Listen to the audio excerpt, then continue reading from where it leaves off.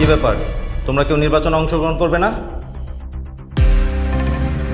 আরোহী মিম ক্লাস নির্বাচনের ক্যান্ডিডেট কিন্তু তার প্রতিদ্বন্দ্বী কে বা কারা হচ্ছে? আদৌ কি প্রতিদ্বন্দ্বী কেউ হবে? আজকে যে নির্বাচনে দাঁড়াবে সে আমার পরিবারের শত্রু হয়ে যাবে। কিন্তু কেন? নির্বাচনে আরোহীর বিপক্ষে দাঁড়ালে না হয় তার শত্রু হবে। কিন্তু পরিবারের শত্রু কেন হবে? ব্যাপারটা কেমন জানি ঘুরপাক খাচ্ছে। তো চলুন জেনে আসি এর আসল কারণ।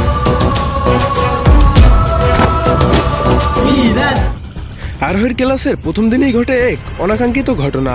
আরোহীর গায়ে পড়ে যায় মিরাজ আর এই অপমান কিছুতেই সইতে না পেরে আরোহী তার গুন্ডা ভাই তামিমের সাহায্য নেয় আর তারপরে শুরু হয়ে যায় ঝামেলা। ওই মেয়ের ফ্যামিলি কত ডেঞ্জারাস তোর ধারণাও নেই। তুই তো শেষ। আরোহের কোটিপতি ও প্রভাবশালী বাবা ব্যাপারটা মোটেও মেনে নিতে পারেনি। মেয়ের জেদার ছেলে তামিমের স্কুল লাইফের পূর্বে কিছু ঘটনা নিয়ে এবার খেপে যায় আরও। তো এবার জেনে নেওয়া যাক যে কে বা কারা হচ্ছে আরোহীর নির্বাচনী প্রতিদ্বন্দ্বী। আর তারা কি আরোহীর সামনে কি? টিকতে পারবে? ভয় লাগে? হাত পা কাঁপে? স্যার আমি দাঁড়াবো। হ্যাঁ প্রতিদ্বন্দ্বী হবে। সে হলো সাথী। আর কেউ ভয় পেলেও সবার হয়ে আরোহী প্রতিদ্বন্দ্বী হন সাথী।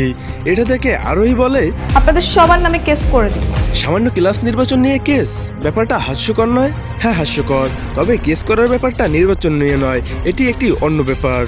আই নিড ইউর হেল্প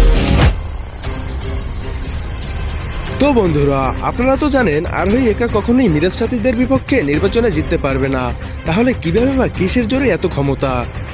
তার ভাইয়ে কি নির্বাচনে জিতিয়ে দিতে পারবে নাকি বাঁধাবে কোনো নতুন ঝামেলা? সেটা সময় বলে দেবে।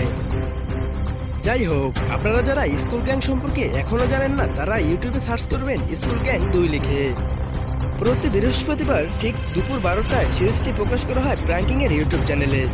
আর যারা সিরিজটি নিয়মিত দেখেন, তারা তো জানেনি তারা কমেন্ট করে জানাবেন শেষ পর্যন্ত কে নির্বাচনে জয়ী হবে।